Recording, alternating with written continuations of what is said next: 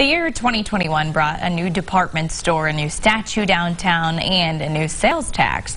There was also a crime spree that started on the first day and continued throughout the year.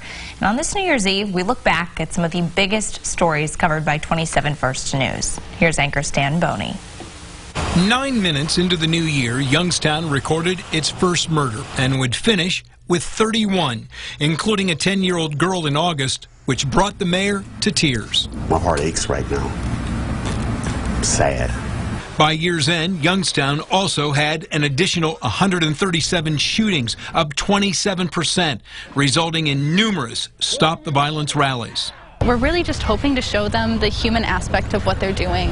In November, there were protests at Youngstown State over the cutting of programs, while in September, former players of legendary Farrell coach Ed McCluskey failed to have his name removed. The political situation in Newton Falls made news all year. The city manager, finance director, and law director were all let go. But Youngstown voted to keep its mayor, Mahoning County voted to raise the sales tax, and Tim Ryan announced He's running for senator. Reyers leaves downtown Sharon with a broken heart. In May, Reyers announced it was leaving Sharon and in August relocated to the Eastwood Mall, where in October, Boscov's opened a new store. The same month, DeBartolo Commons opened at Southern Park. I am touched beyond measure.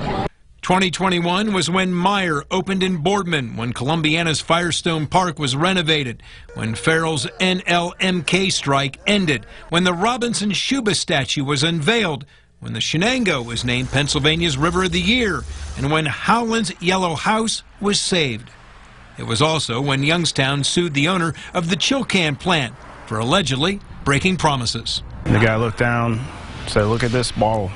It was a year when a 130 year old beer bottle was found during the Penguin City beer construction, when Debbie Barber of Altobelli Realty was named Ohio's Realtor of the Year, and when reporter Nadine Grimley received a fist pump from 92 year old veteran Vern Gibson for helping him find his missing ring. Stan Boney, WKBN 27 First News. Now, the coming up on First News at 6, we'll highlight the year's other big stories and count down the top 10 stories of 2021 as voted on by the WKBN staff.